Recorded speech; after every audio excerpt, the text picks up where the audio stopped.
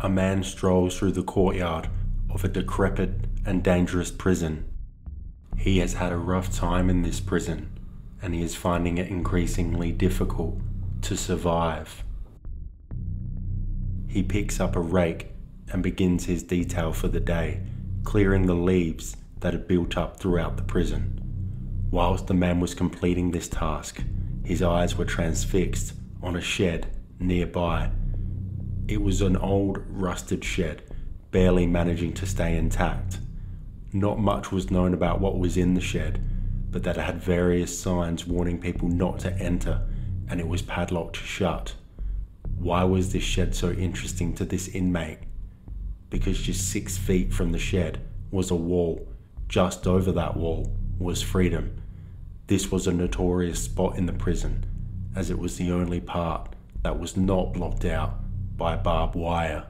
But there was always a prison guard nearby.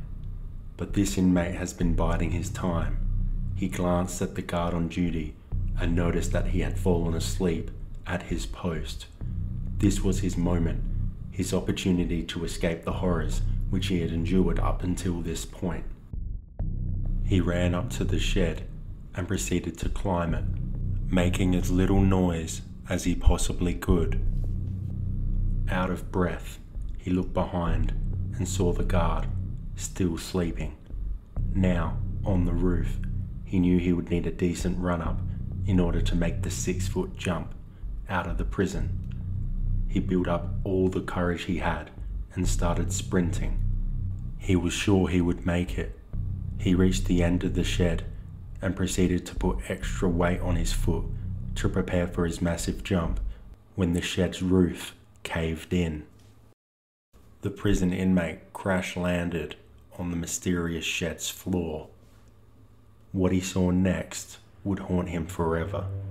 He suddenly realized what this old shed was holding this entire time.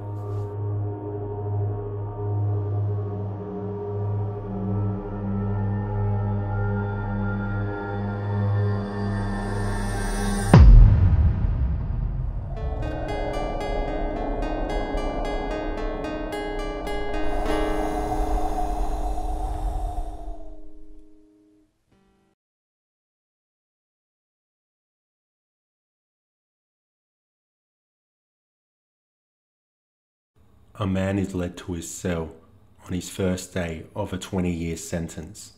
Angry and emotional, the man looks back on how he ended up in such a terrible predicament. Drinking alone in a bar, he is drowning his sorrows. Yet another business venture has gone belly up, and he is not sure where his next paycheck is going to come from. Soon thereafter, a cheerful and jovial man approaches him. He quickly realizes he recognizes this person as a friend of a friend. They get to talking, and the lone drinker explains his latest business failure, and the other man tells him of a polar opposite story. He explains he just came back from South America delivering some unique merchandise. He delivered some high end religious statues to a company and they pay good money. The man in the Hawaiian shirt offers the job to the lone drinker, and the drinker, down on his luck and affected by alcohol, accepts. Before he knew it, he was driving down to South America, but his trip was over as soon as it began. Police pulled him over, inspected his vehicle, and it turned out that all the religious statues were filled with drugs, heroin. With no paper trail, the man is charged for the crime alone. He meets trouble early in his stay at the prison.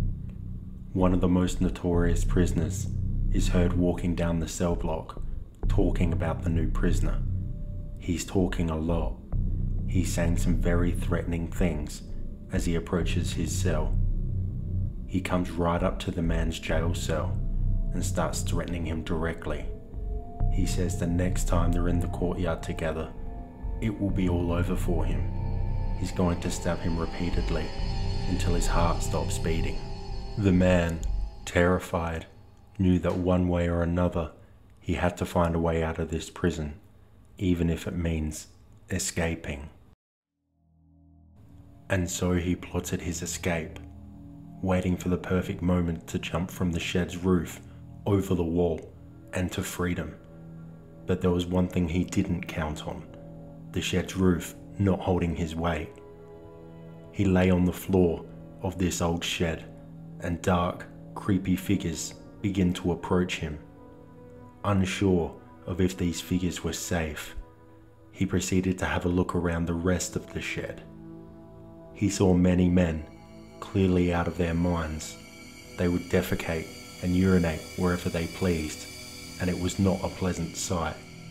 He quickly realized this was a place for the criminally insane.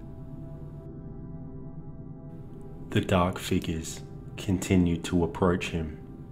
Soon, once the adrenaline no longer had a hold of the inmate's body, pain started to kick in. He had injured himself on his fall. As the terrifying and insane figures approached him, he passed out.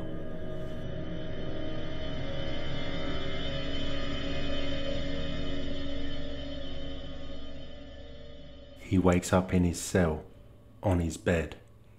Before he could decipher what just went down, his jail cell opened up. He was free to go. It turns out that back home, the friend of a friend that put him in this predicament was caught by the police and confessed to being the ringleader of the smuggling attempt, and that the man arrested knew completely nothing about it. This information got sent to the prison and the man was released. Now, suddenly on the other side of the fence, the man was free. He was deported back home to continue his life, putting this chapter behind him. The man is fortunate to have escaped these events alive. Threats were made, and he was trapped in a locked up shed with insane criminals. He assumes that the police officer heard him fall through the roof and came to investigate, then took him away. The thing that the man is scared of the most is what did these insane criminals do to him during the period that he was passed out and then eventually taken back to his cell. It's likely he'll never know.